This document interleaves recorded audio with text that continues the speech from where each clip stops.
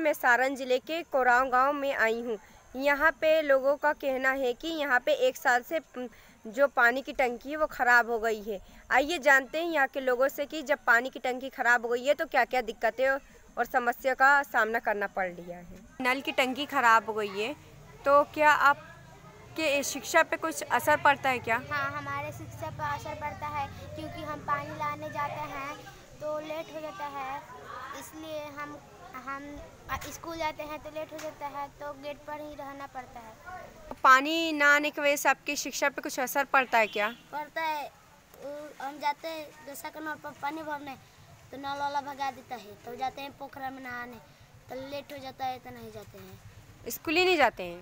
अगर जाते हैं तो मास्टर गेट तक खड़ा करा देता है।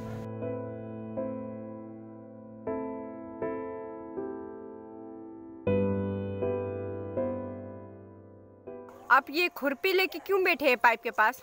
पाइप कटने के लिए। वो क्यों? पानी नहीं किएगा तो क्या होगा?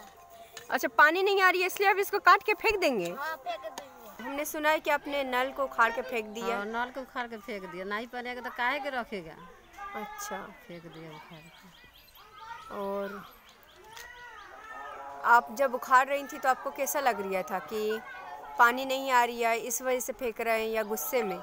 हाँ फेंक दिया कि उसमें में नहीं पानी आएगा तो कल चला के पीता है का हो रख के?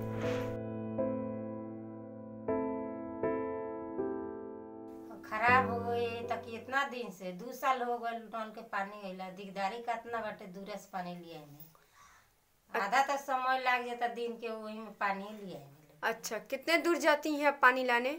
वो जाते हैं पड़ोसी के घर ये ढेर दूर तक जाते हैं। अच्छा।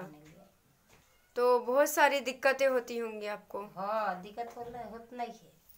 लगभग कितना समय लगता है आपको दिन भर में पानी लाने में?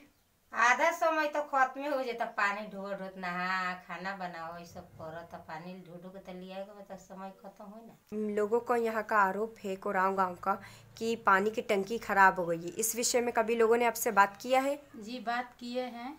लोगों तो हम लोग मशीन खराब हो गया है। तो छपरा दिए हैं बनाने के लिए। अभी कब तक आएगा वो अभी नहीं पता है। खबर लहरिया, आपकी खबर, आपकी भाषा।